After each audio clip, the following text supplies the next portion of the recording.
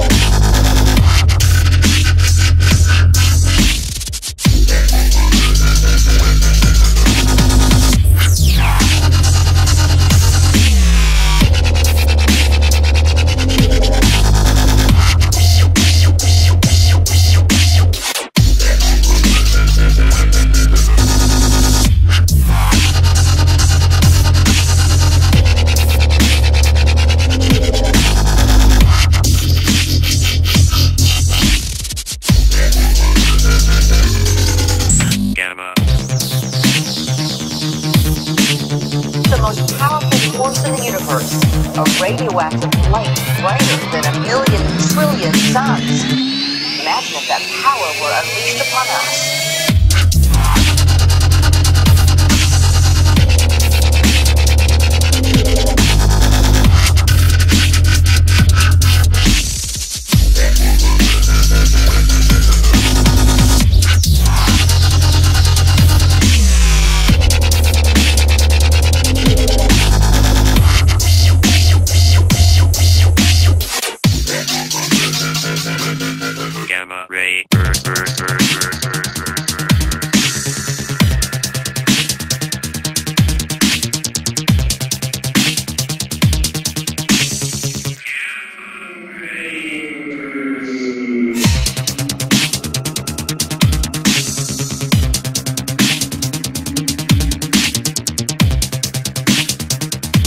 Days, the radiation would begin to impact every living thing on a molecular level.